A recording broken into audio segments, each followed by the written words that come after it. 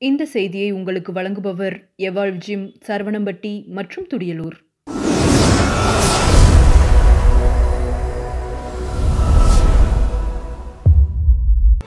வணக்கம். கோவை துடியலூர் அருகே உள்ள விஜி மருத்துவமனை செவிலியர் பயிற்சி கல்லூரியில் உலக அனஸ்தீசியா தினம் கொண்டாடப்பட்டது. நூற்றி எழுபத்து ஐந்தாவது ஆண்டு தினமாக கல்லூரியின் கருத்தரங்க கூடத்தில் நடந்தது மாணவி சஹானா அனைவரையும் வரவேற்று பேசினார். கல்லூரியின் தாளாளர் டாக்டர் ஆஷா வெங்கடேஷ் தலைமை வகித்தார். முதல்வர் ருக்மணி முன்னிலை வகித்தார். இந்த தினத்தின் முக்கியத்துவம் குறித்து மாணவி ஹசானா விளக்கி பேசினார். சிறப்பு விருந்தினராக மயக்கவியல் நிபுணர் டாக்டர் சங்கர் மயில்சாமி கலந்து கொண்டு மருத்துவத்துறையில் செவிலியர்களின் அளப்பரிய பங்களிப்பு பொறுப்புகள் கடமைகள் குறித்து எடுத்துரைத்தார். விழாவில் டாக்டர் நந்தினி வெங்கடேஷ் மற்றும் பள்ளியின் ஆசிரியர்கள் கலந்து கொண்டனர்.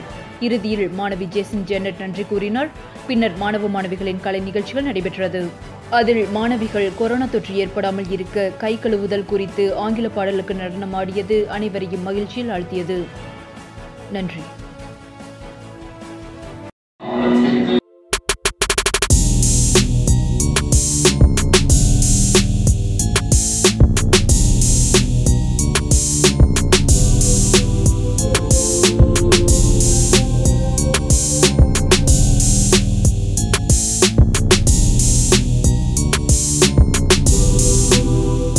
இந்த செய்தியை வழங்கியவர் எவால் ஜிம் சரவணம்பட்டி மற்றும் துடியலூர்.